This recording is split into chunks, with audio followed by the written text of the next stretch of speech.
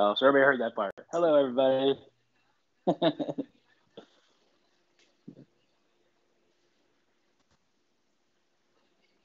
live. We're live. So keep it. We've got a new cameraman. You're fine. We do. We've got Jacob, the birthday boy, yesterday. He's happy birthday, they say. So he's uh, recording. So bear with us. He's learning the ropes here. Shizuka's out doing a a boat farmers market style thing for the pet store. I don't know, but we're here. We've got fish and chips. We're ready to go. I've got the or yeah, we're gonna make it happen. I've got the oil coming up. Come closer. I've got the oil coming up to temperature. You can see we're monitoring the temperature right here. I'm taking it to about 300. The uh, first initial stage. I'm going to cut it down a little bit because it's going to get there pretty quickly. So what I'm going to do is I'm going to par cook the potatoes first. Par cook. So we're going to cook them twice. That's the fancy way of saying it. So it's kind of like when we're making our green vegetables. I like to cook them first, get that green vibrance, get most of the cooking out of the way, then ice bath it really quickly. So you keep that green color, and then we're going to cook, it one more time. Awesome. So it's kind of the same with the potatoes, right? So I first let's go ahead and cut some potatoes. I get to use this handy dandy mandolin. Come closer.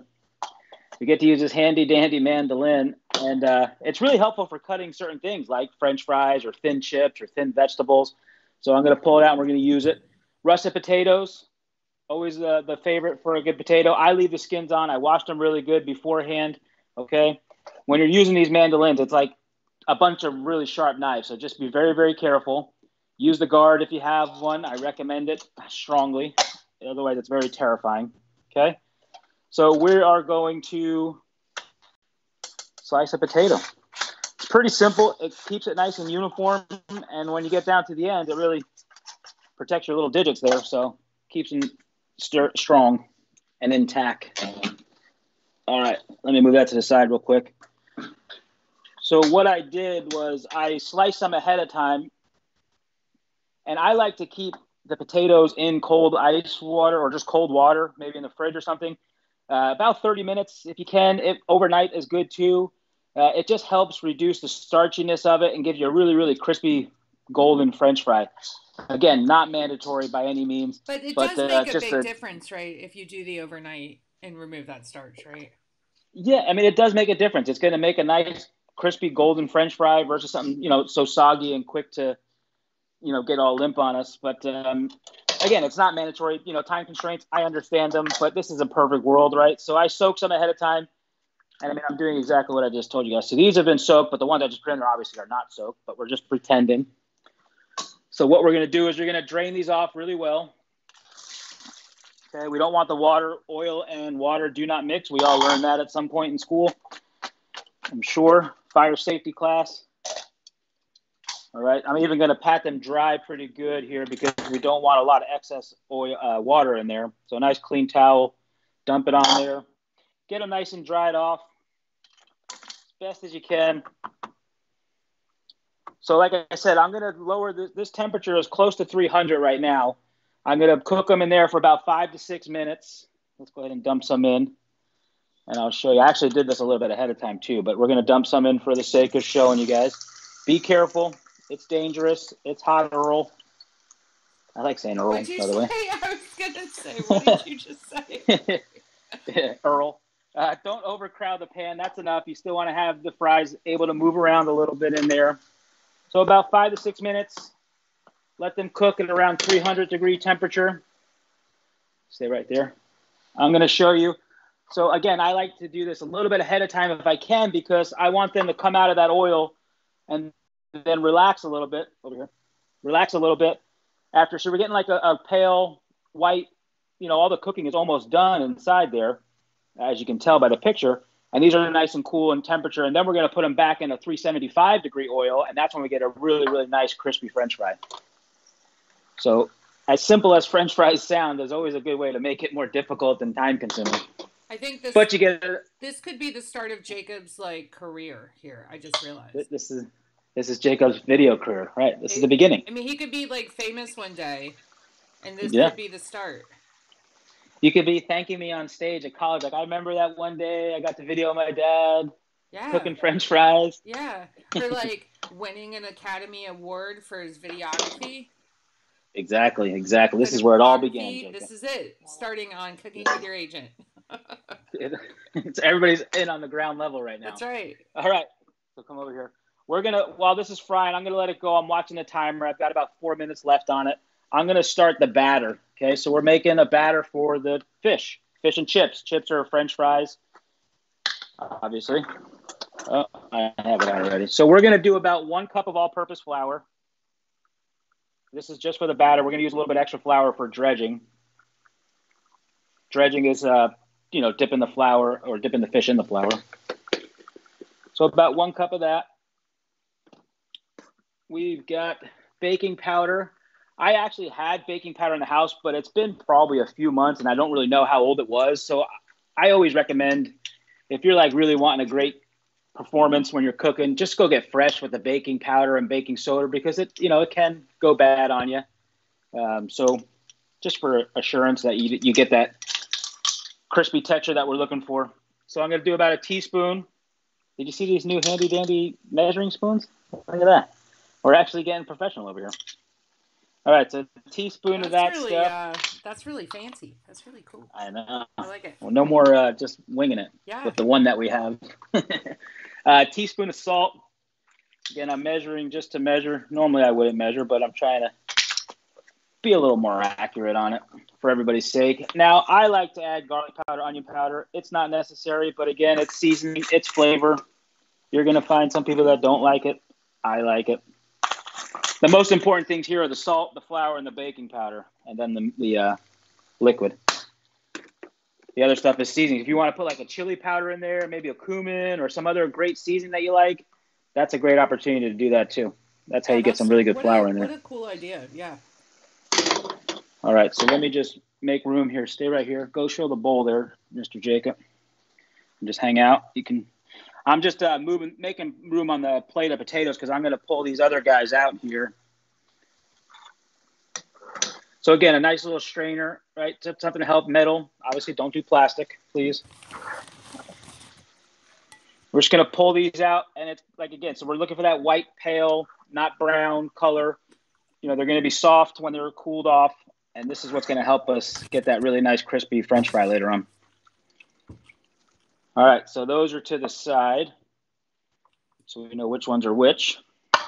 I'm going to crank the oil up so we can get to about 375 is what I'm looking for. If you got a candy thermometer, use that. This is just a, a digital thermometer I use for my barbecue, and it works pretty good. How's the how's the camera angle? It looks pretty good. Good job. Stay there. He's totally crushing it. Keep it up. All right, good job. All right, so we've got our dry mixture. I'm just going to whisk this together just to incorporate it before we add the liquid.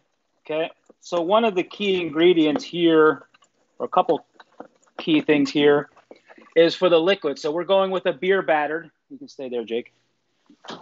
Beer is definitely going to help with the flavor of it, but what we're really looking for is that carbonation as well, right? So that's going to give us that crispy texture on the batter. So if you want to use a sparkling water, you're more than welcome to. You're going to cook the alcohol off, but if you just don't want to use beer, use a sparkling water, okay?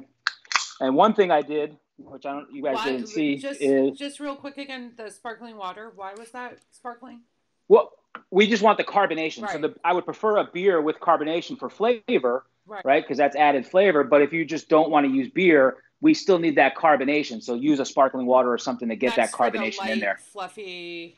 Right. It's going to give us that nice, crispy, fluffy yeah, batter yeah. that we're looking for in a good fish and awesome. chips. Okay. Um, so one other thing I did is keeping it cold is very, very important, right? We don't want to leave this sitting around. So I actually put this in the freezer for about 30 minutes before. Uh, this way it's as cold as we can keep it. We're going to do about a cup and a quarter. Oh, darn, there's going to be some left in the can. I guess somebody will have to have that later.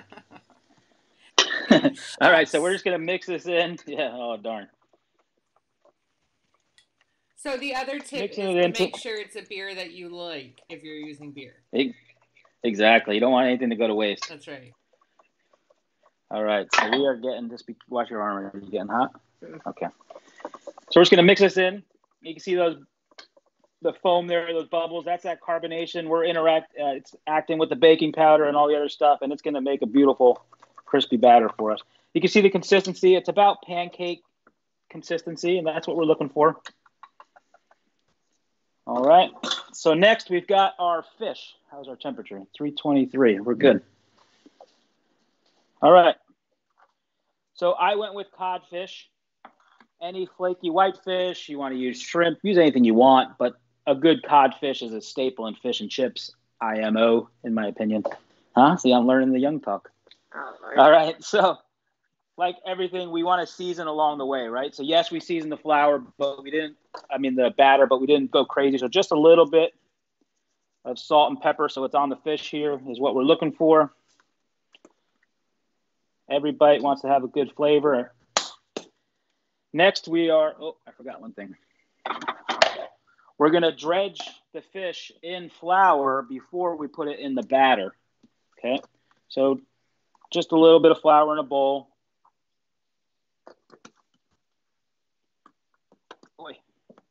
Okay. How are we doing temperature? Okay, we're doing good. All right, so a little bit of flour. Put the fish in there, just dredge it, right? Cover it in there, shake all the excess off. Dump it in your batter. I'm going to do two at a time on this one, maybe three. No, we'll do two. You don't want to overcrowd your oil. That's the most important because one, you're going to drop the temperature down very, very severely, and it's going to cause the batter not to uh, firm up and attach to the product that you're frying. So you just don't want to overdo it. Okay, so in the batter, we're at temperature.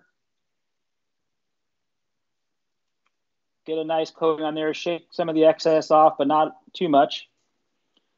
And always go away from you, right? So we're going to go in the oil and away from us. This way it doesn't splatter on us. Okay. This is going to go probably about five to six minutes. Take this out. We don't need to measure the temperature right now.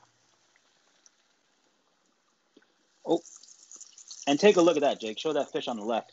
You see how it, it's all puffy and airy looking and crisped up really nice, you know, kind of form those bubbles around it really nicely. That's because of that carbonation combination, carbonation combination in the batter. So that's going to turn out really great. That's a, so we're going to fry that. I, I, like carbonation combination.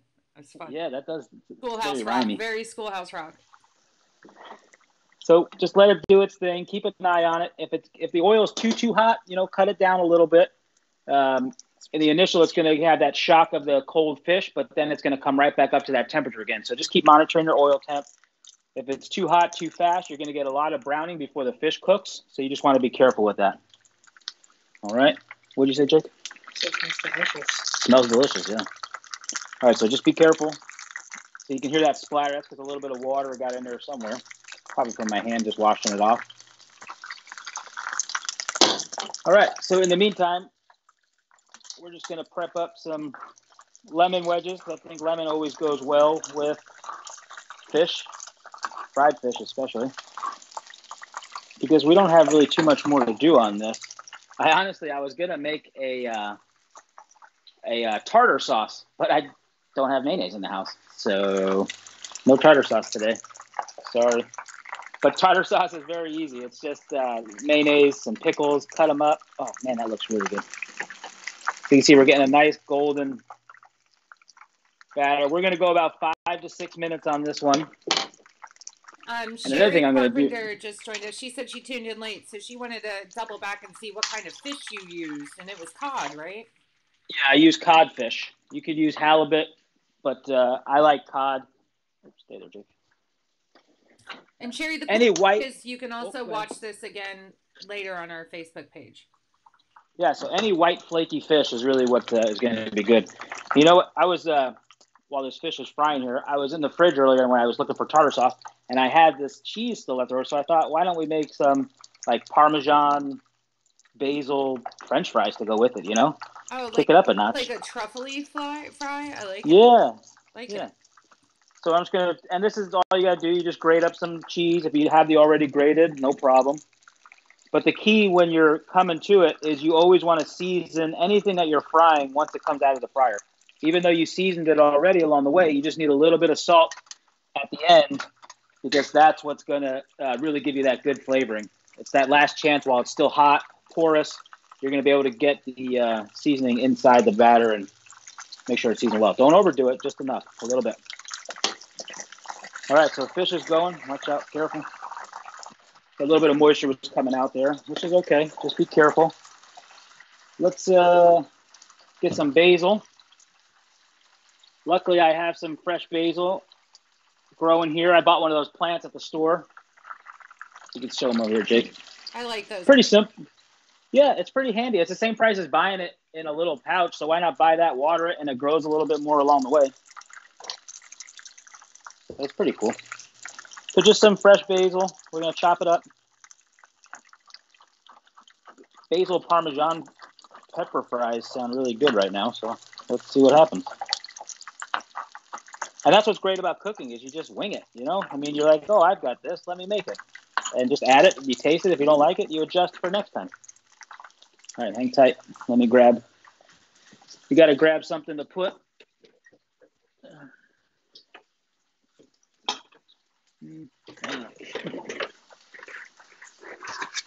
I'm just grabbing a bowl, sorry. Mise en place. Grab our bowl so we can do the fries. Come over here, Jake. All right, look at that fish. I mean, that that's coming good. along really nicely. Yeah. And you can really tell the batter there. It's just a different type of batter with the way we made it versus like, you know, a breading of egg, flour, breadcrumb type where it's just kind of more dense and sticks to it a little bit. For you know, this is a little airy and it's really really nice. So let me grab a plate and we're going to put some paper towels on it. This way we can drain the fish. I'm going to pull it out. It looks good. It looks done. It's really more time and uh, temperature. That's all we're doing because you don't really want to cut this open if you don't have to. If you're unsure and you're just like, hey, you know what? I want to make sure I'm not serving raw fish. Cut it open. Be comfortable. But I've done this a few times, so I'm just going to pull it out. It wasn't that thick of a piece, and it was that close to room temperature, as well as the time and the temperature that we've got. So that looks amazing. What I'm going to do now, real quick, is I'm going to throw the other fries in that I did earlier, right? This way we can get these to cook up. Get those guys in there. All right, so nice hot oil. We're at 375 again. And these are going to take about two to three minutes. We're just looking for a nice golden brown color on them. They're already cooked and inside, so now we're just kind of crisping them up on the outside. So we've got here. You can come up here.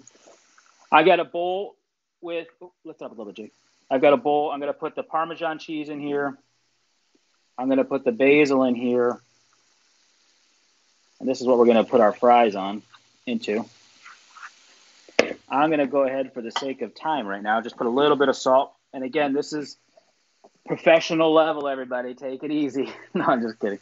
Uh, what I'm gonna do is I, I know how much salt I'm gonna need for those fries based on what I got in there. So I'm just gonna put a little bit in, not too much, instead of waiting, uh, because you've got the cheese, right? The cheese is very salty too. Salt and pepper. Uh, how about some garlic? Sounds like it'll work.